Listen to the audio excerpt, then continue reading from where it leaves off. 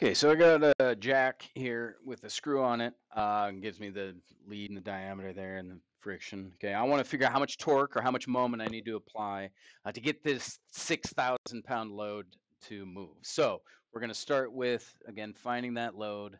Okay, and again, I'm working against the load, so I'm going to add the two angles together. Okay, I'm basically tighten this thing down. Okay, and that'll be tangent of theta plus phi s. And theta, of course, is the lead angle, okay, which will be the inverse tangent of the lead, which is 0.2 inches. And the diameter is 0.5 times pi to give me that circumference, gives me the angle of that incline of the screw to be 7.26 degrees. My friction angle, uh, phi sub s, is going to be the inverse tangent of the coefficient of static friction, which is 0.4.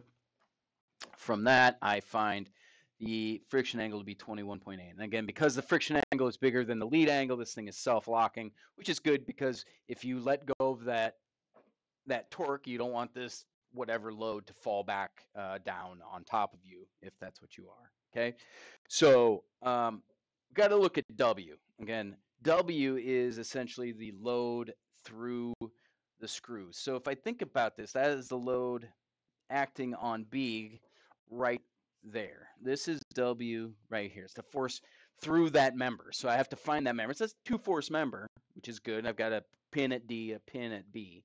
So because it's a two force member, I can very easily know the direction of it. Okay. Uh, I'll let you check my work here.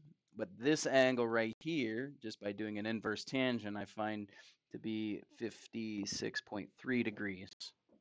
Okay.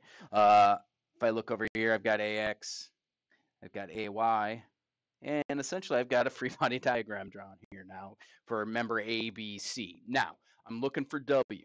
I know 6,000. I don't care at all about AX and AY. Therefore, I'm going to sum my moments about point A. And I get my 6,000, 35 inches away. That's creating a negative moment. So negative 35 horizontal times the 6,000 vertical. Okay. And then I've got W. Now I've got horizontal and vertical components. I'll take the horizontal distance of 20 times the vertical distance of W cosine 56.3. That one's going, these are both going to be creating positive moments. That's going to be plus, as well as the vertical distance of 10 times the horizontal, um, the horizontal load of W sine of 56.3. That equals zero. So from this, I can calculate W, and I find W equals 10,807 pounds. Okay, so that is the force going through this. Um, I'm sorry, through the um, through the screw. Okay, and again, what I'm trying to find here is this moment.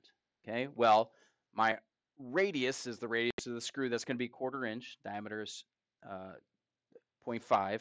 W I just found to be 10.817, like so, and then it'll be the tangent of 7.26 plus 21.8.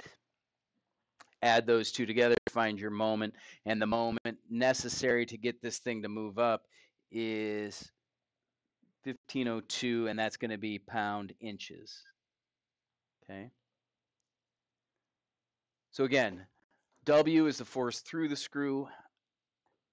Based on my picture here, I can find that using statics by taking the sum of the moments about A on member ABC.